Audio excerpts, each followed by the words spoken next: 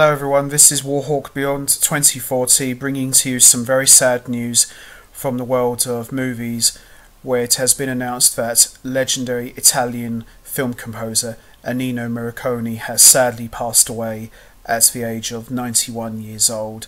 And it is a real shame because he's been such a huge part of film music and he's been around for like forever. And, you know, when you think of films, especially iconic soundtracks, I'm pretty sure you'll find Ennio Morricone's name somewhere near the top of that list.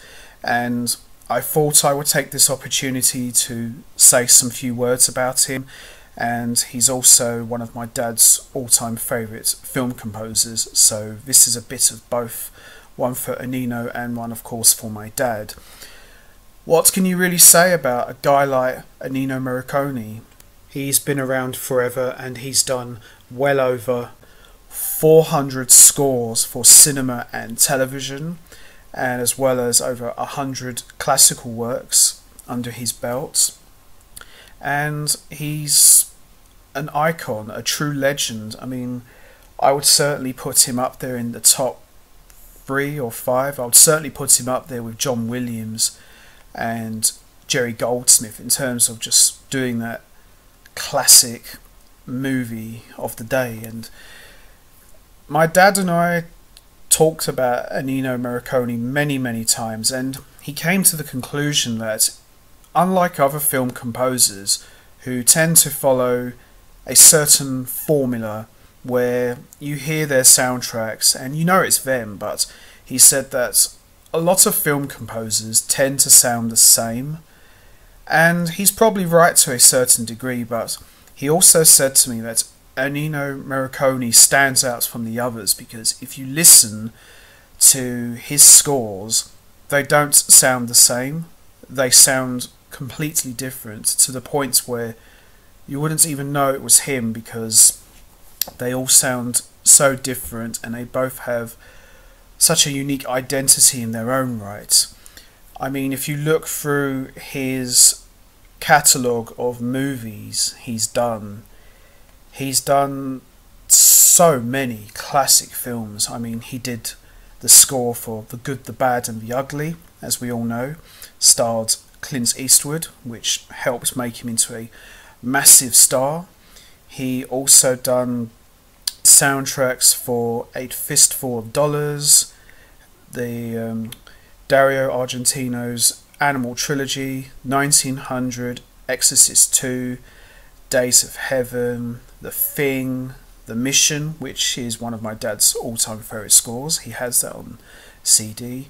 He done the score for The Untouchables, Mission to Mars, Bugsy, Disclosure, In the Line of Fire, Ripley's Game, and The Hateful Eight.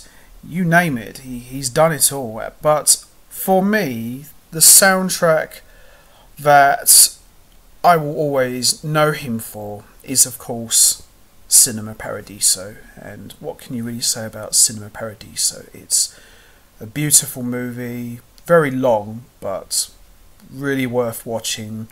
And a big part of the success of Cinema Paradiso is, of course, Ennio Morricone's music, especially the Cinema Paradiso main theme and the Cinema Paradiso love theme, which to me are like the two most standout iconic pieces of music you'll find on that score. And no matter how many different versions I hear of that song, even just those little opening bars that just goes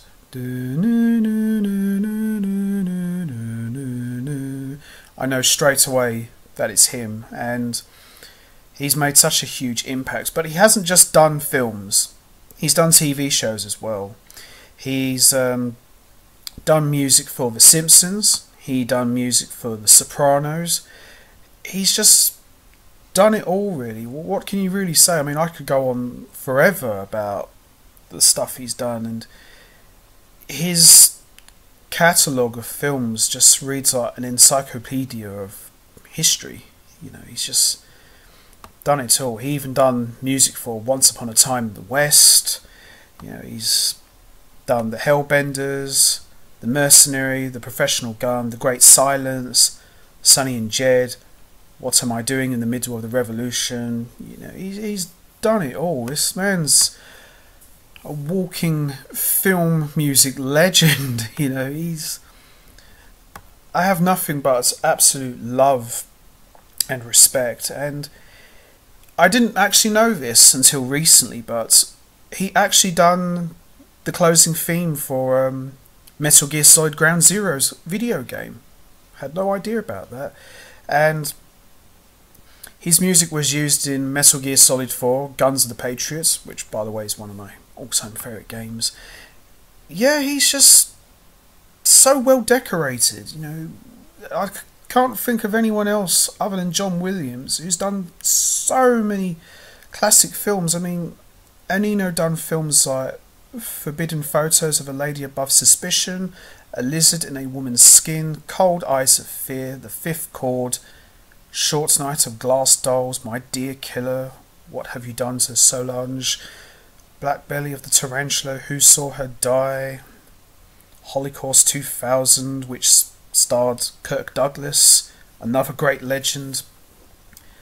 Wow, what a career!